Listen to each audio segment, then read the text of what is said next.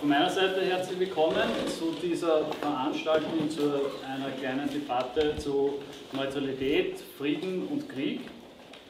Und der Anlass ist natürlich klar. Am 26. Oktober 1955 hat Österreich äh, seine immerwährende Neutralität beschlossen. Und 67 Jahre später finden wir uns wieder in einem Europa, das im Krieg steht und in einem Österreich, dessen Neutralität schwer beschädigt ist. Wir besprechen heute oder wir versuchen am Podium zu, zu besprechen, wie dieses Erbe Österreichs aussehen kann in diesen sehr komplizierten Zeiten und vielleicht, wo die Hintergründe und ähm, der Kontext steht, der, wie der Kontext ausschaut im Konflikt in der Ukraine. Denn es ist so, dass der ähm, politmediale Komplex in Österreich eine eindeutige Parteinahme verlangt.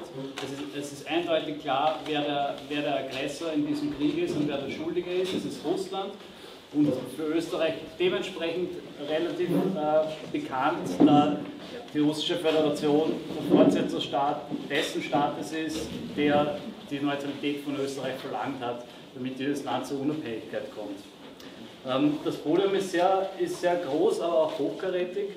Ich stelle euch kurz vor und bitte gleich die Teilnehmer am gesamten Abend zu versuchen, pointiert und kurz zu halten in den, in den Formulierungen, damit auch alle ähm, zu, zur Sprache kommen.